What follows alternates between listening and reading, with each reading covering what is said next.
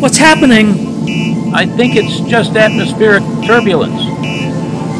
But Engine malfunction detected. Thrust is fluctuating and falling. Ariel, can we still land? Negative. Insufficient thrust for vertical landing. Can we abort back to orbit? Negative. Insufficient thrust. Please tell me there's an alternative. we're coming down way too fast.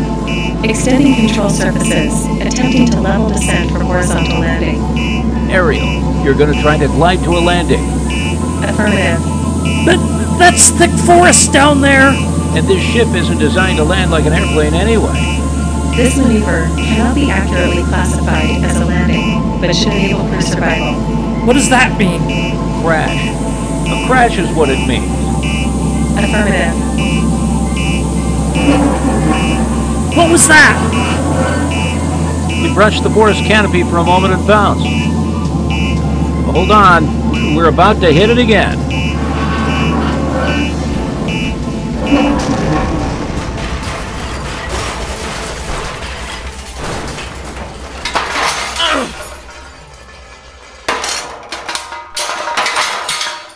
You okay, Marcus?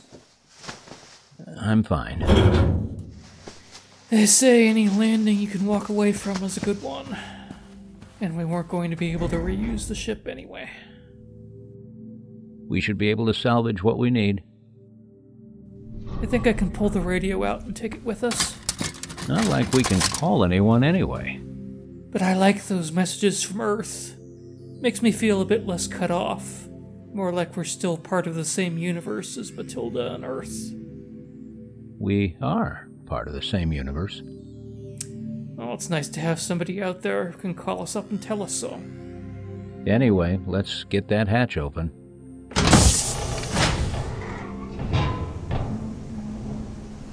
You, Marcus. No, I took the first step on Eddington. Your turn now.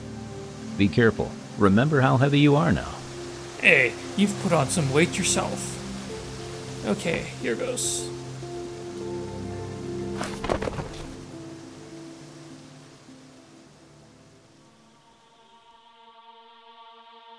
QuietPlease.org presents 253 Mathilde.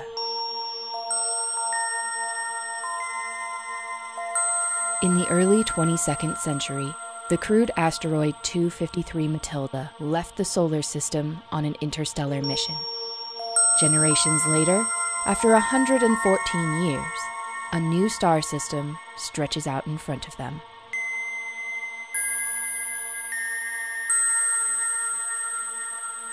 Episode 19 Miranda.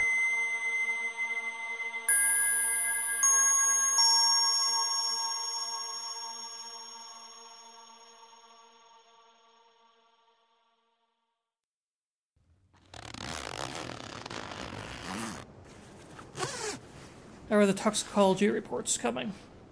We lost a few tests in the crash, but what I've got is showing all the vegetation is good.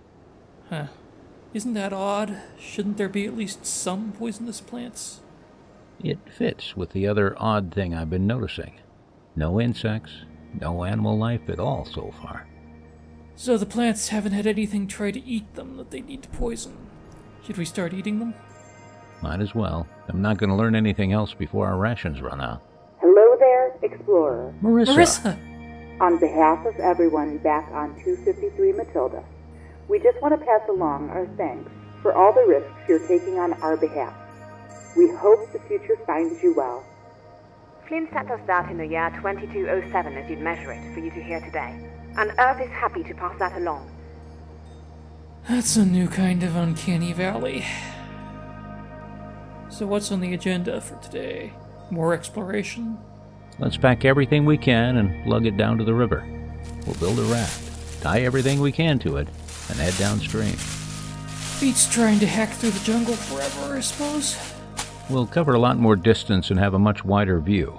Maybe we'll discover an ideal spot for a long term camp, or even something more interesting and unexpected.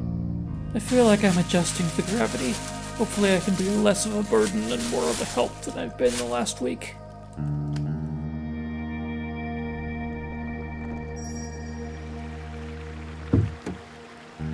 I could get used to this. It sure is a breathtaking view. As Miranda's acting government, we'll have to declare this a national park. River Gorge National Park. If only we'd been able to send videos and hollows back. People on Earth would be competing for a chance to be settlers here. Oh, they'll come anyway. It'll probably take a few centuries, but they'll come. Uh, step out onto what they think is a new world, and they'll see your national park sign. And our skeletons beside it, maybe. What's that? On top of the ridge up there, just coming into view around the bend. That can't be natural.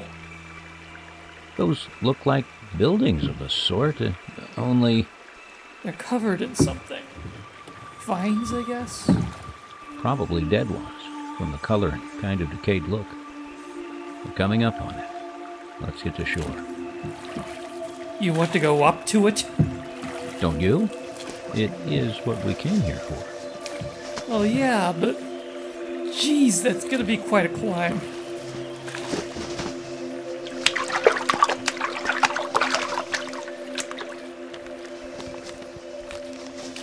Okay, that that's good. The raft should be safe here. Considering we've seen no animal life. But whatever built that town up there. Probably has no interest in stealing our supplies, because they've got better. Let's just bring food and water. Everything else can stay here. I can fit the radio too.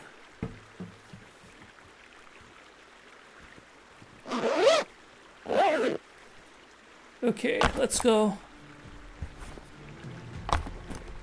Over here looks like the path of least resistance.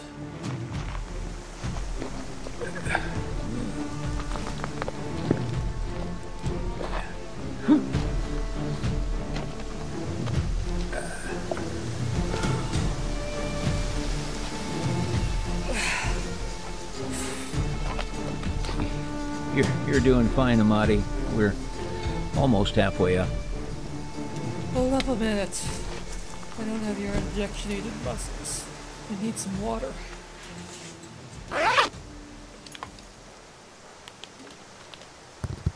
Shit! Did you lose something back there? Our radio. No chance to get it? It's in a bunch of pieces down in the river now. A radio isn't a very useful item on this planet anyway. It was our last connection to the rest of humanity. Now we really are completely alone forever. It's not humanity you check it for every morning. It's Marissa. True. And not another transmission she relayed through Earth decades ago either. You were still expecting news from Mathilde. I've kept myself going by believing that one day I'll hear her voice telling us everything worked out for them. It's been nearly four months. You wouldn't have been able to send a reply anyway at this distance. That wouldn't matter. Knowing they took back control and escaped would be enough, wouldn't it? Well, I, I prefer to keep my hopes realistic. I hope they're safely on their way to Earth as well treated captives. Now let's go. Break's over.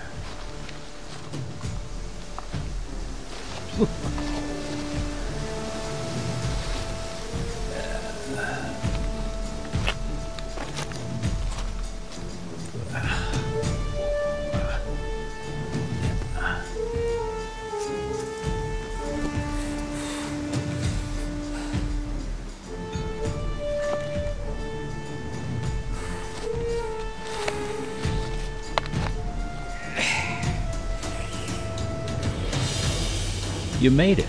We've reached the top. Wow. I've never seen anything like this.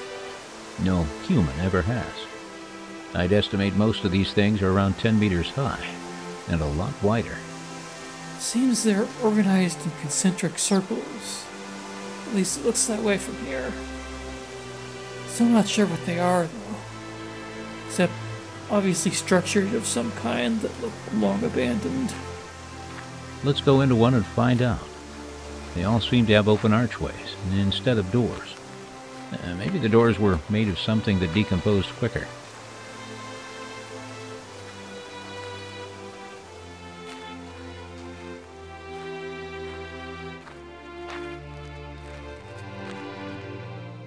This is so odd. Marcus! This isn't a building covered in dead vines. Uh, what do you mean? Feel the wall. Stick your hand all the way in. I see what you mean. The vines themselves are the structure. It's an organic building. Imagine growing the structures you need instead of constructing them. I wonder how it's done. Maybe they have different seeds that grow into different sorts of structures. And I wonder who they are and where they are. I don't think they've been around here for a while. Looks that way, but how would we really know what it's supposed to look like? The smell is, is pretty odd. Yeah, kind of like rotting fruit. Huh. H- have a look at this. What is it? Looks like electrical wiring.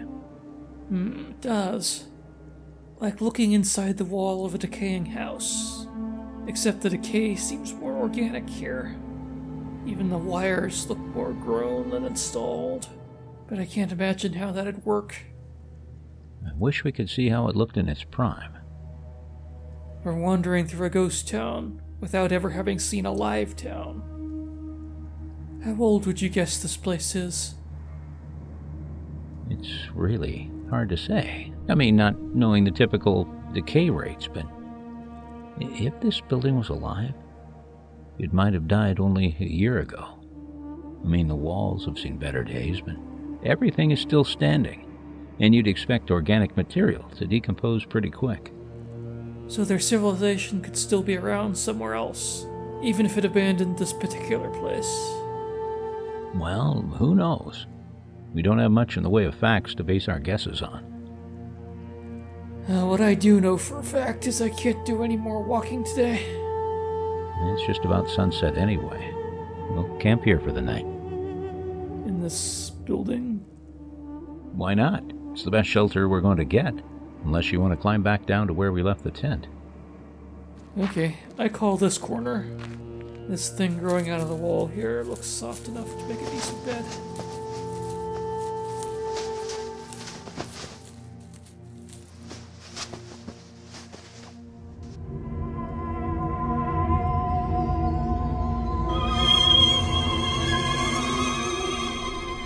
Am I? Been dozing off at work again, Amadi?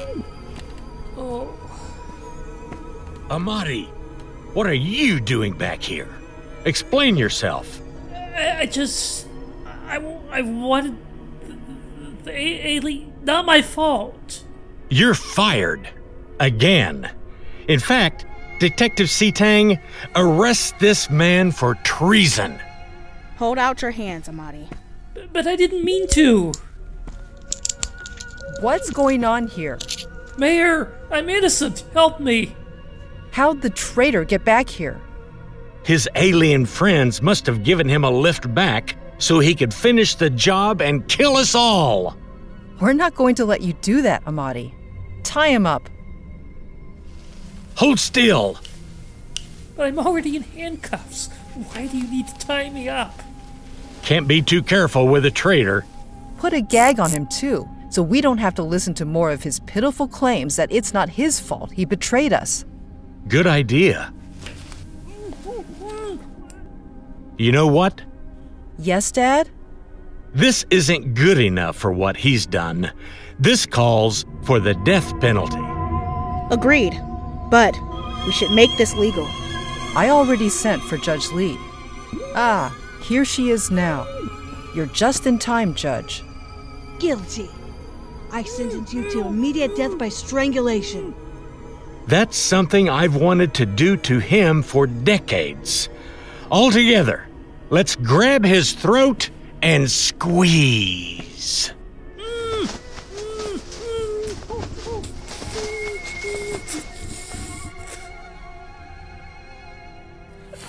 Hold as still as you can. I- I'm trying to cut it off you.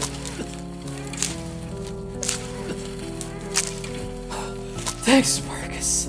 That was a close one. Do you, do you think that's the structure's idea of a security system? Designed to strangle intruders while we sleep? Looks more like a parasite feeding on the dead husk. Maybe a sort of cross between mistletoe, a, a Venus flytrap, and a, maybe a boa constrictor. One thing is certain. What's that? Not all the plant life on Miranda is harmless, after all.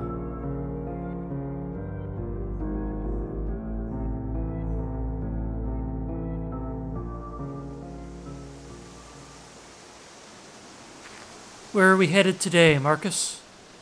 North. Any particular reason? The sea shouldn't be too far, and it shouldn't be as hot there. Well, I'm all for getting out of the heat. Let's go.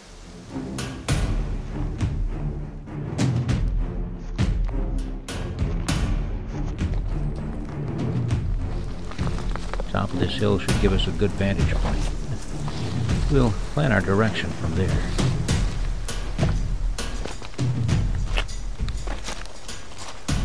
There.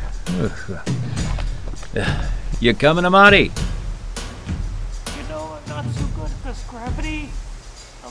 In a minute. Wow.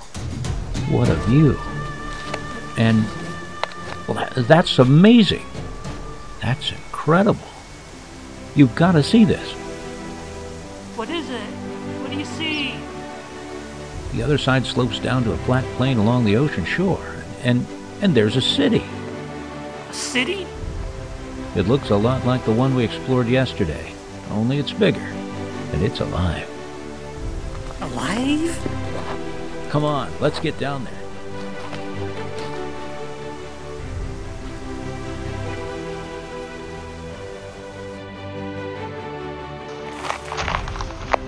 Watch out! Look at that thing. Marcus, I think it's intelligent. Look at that ornamentation on the torso. Must be the species responsible for the city. Yeah, it, uh, it reminds me of a Triffid What's a triffid? from a 20th century John Wyndham story, Walking Plants. It's the first thing we've seen on this planet that moves like an animal, but those leaf things appear to be part of the body, so not sure if it's more plant or animal. Maybe they get energy from both photosynthesis and food. Well, let's try not to be its food. Back off slowly. Look, they're, they're rising up out of the grass all around us. Looks like we're surrounded. Probably just curiosity. I don't think they mean us any harm. I remember the last aliens you said that about, but it's not like my knife is going to hold them all off, so we better try to cooperate with them until we find out more. Unless I've missed my guess, they want us to walk with them now.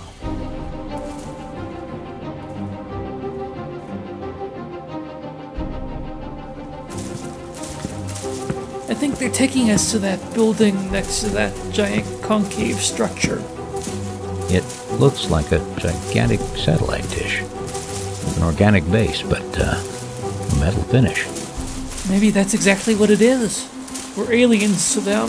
It only makes sense to take us to a space program facility. Well, let's hope it's not to be locked in cages of specimens for observation and dissection. I don't sense any hostility.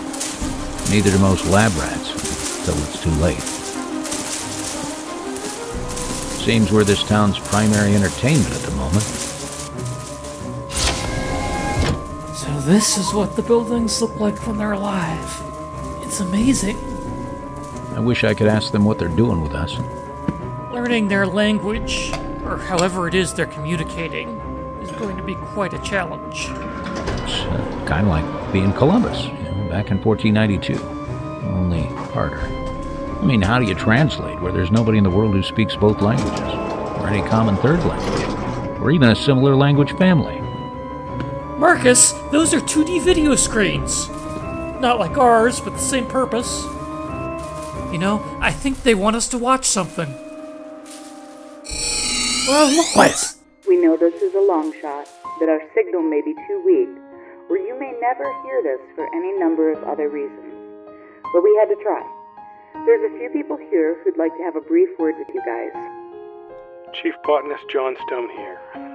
That's a long story. Amadi, I never got a chance to tell you how sorry I am for what happened to you. If I hadn't been negligent things might have turned out very differently for you. This is Eva Hernandez.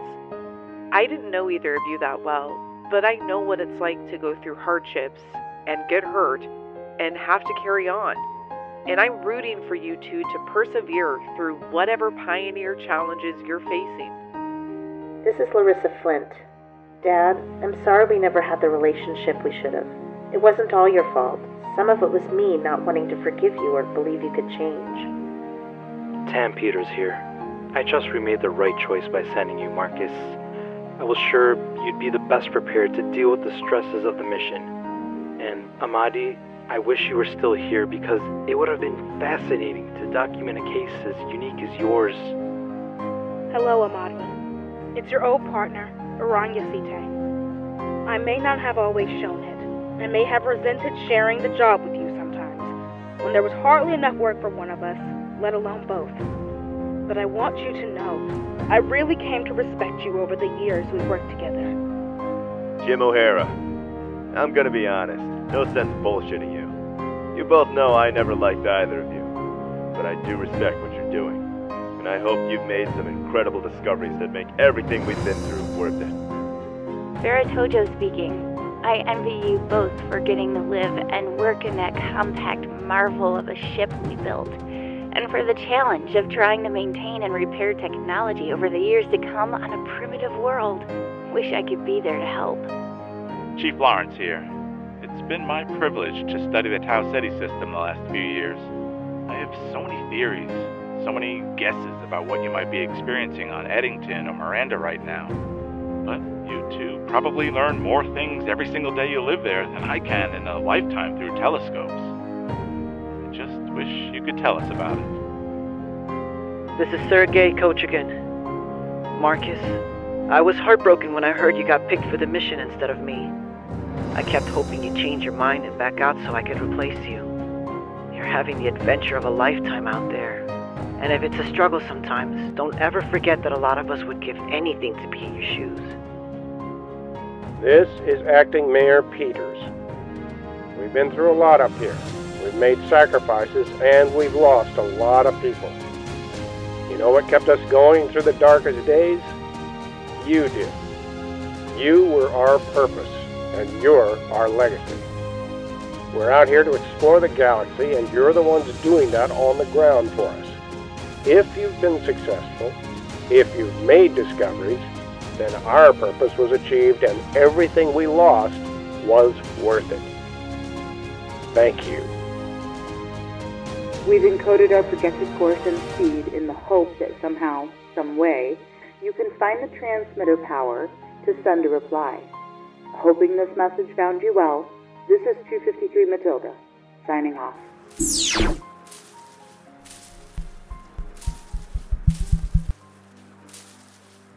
That one's trying to tell us something. I think they're trying to offer us a chance to send a reply. Hmm, I think you're right.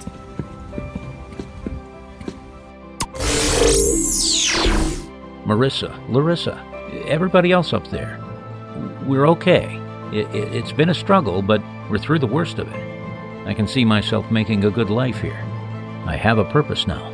This mission has changed me exactly how I needed it to. I miss you. This was the best decision I ever made. I didn't want to make this trip. It wasn't my decision. I was used, and I was mad about it for a long time. And I've really missed you, Marissa. But now, a part of me is thankful for what's happened, because it's been an incredible adventure. We've seen things you wouldn't believe magnificent eclipses, awe inspiring storms, incredible canyons, whole cities that are grown, not built, life forms we could never have imagined. And we've discovered new depths in ourselves we never knew we had until circumstances brought it out. We'll try to send you full and detailed mission reports later, once we're settled in, assuming we can make our host understand what we want to do. For now, we wish you safe travels. Marcus and I were just the beginning, just the first step to establishing humanity among the stars.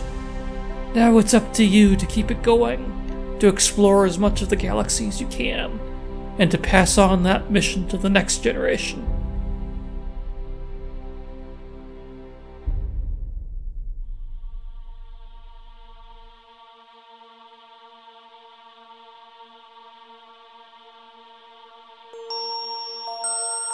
You've been listening to 253 Mathilde, Episode 19 Miranda. Created, written, produced, and directed by Paul Neram. Marcus Flint is Glenn Haskell. Detective Arash Ahmadi is Paul Neram. The Earth Controller is Mary Ann Stanek. The computer is Microsoft Azure Neural Voice Jenny. Mission Specialist Salish Peters is David Loftus. Mayor Renata Matumbo is Kathleen Lee. Astronomy Chief Lawrence is James Lorenz. Jim O'Hara is Slim Sam V.O. Apprentice Tojo is Gwyneth Knight. Eva Hernandez is Lindsay White. Detective Aranya Satang is Sova Rain. Chief Mech Larissa Flint is Lindsay Townsend. The mayor's father is Roger Arnold. Dr. Stone is John Gauntz. Dr. Peters is Ahmad A.J. Judah. Communications Chief Marissa Flint is Virginia Hargrove. Judge Lee is Rachel Pulliam. The announcer is Aaron Summonsby. Sound effects and music courtesy freesound.org, a soundeffect.com, freepd.com, and audionautix.com. This program is licensed for free reuse and redistribution. Hear more episodes at quietplease.org slash 253. Thanks for listening to 253 Mathilde Season 2. If you enjoyed it, please spread the word to anyone who might be interested. We have no advertising budget. We'll be back in 2024 for a third and final season.